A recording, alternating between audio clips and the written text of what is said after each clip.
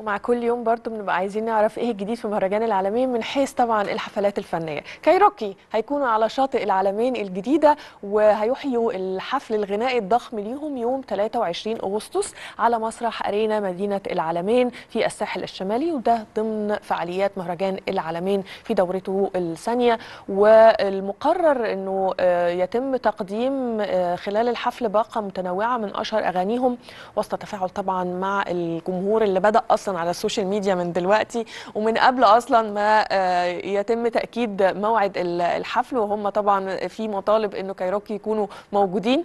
أطلقت الشركة المتحدة طبعا قناة U Live عشان يتم نقل فعاليات المهرجان آه، في نسخته الثانية عليها.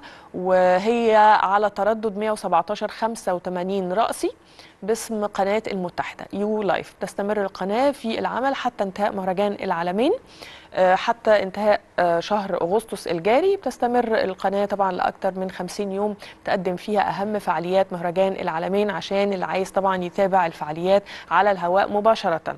طبعا باقي القنوات المتحدة بيذيعوا زي ما حضراتكم كده إحنا بنتابع معاكم كل الجديد بنتابع معاكم آه، حتى لو مثلا بيبقى في حفلات مسجلة بيكون طبعا بيتم بثها عندنا آه، من خلال طبعا برامج اليوم.